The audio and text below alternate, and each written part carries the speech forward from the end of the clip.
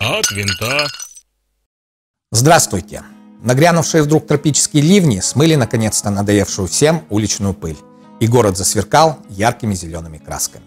Первоуральск – город зеленый, а Динос и Магнитка, те по площади зеленой кроны на одного жителя, просто рекордсмены по Свердловской области.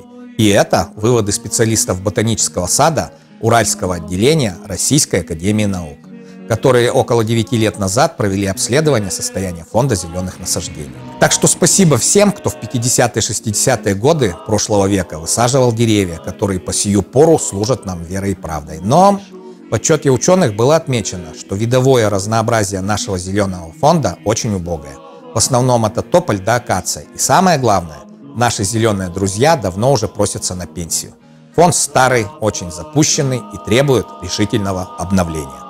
А ведь когда-то существовал в городе свой зеленстрой, в распоряжении которого были и теплицы, и питомник, и самое главное люди, которые работали не за страх, а за совесть. В 90-х годах эту структуру упразднили для экономии, но ничего пристойного до сих пор не создали. А тополями и кустарником управляют все, кому не лень. Причем все управление в основном сводится к вырубке деревьев в угоду стремительно растущему автомобильному стаду. Я вот вас спрошу, а сколько этой весной высажено новых деревьев? И где? Ну, вот то-то. Тут нам рассказывают про героические проекты по превращению нашего города в территорию с молочными реками в кисельных берегах. За очень отдельные деньги.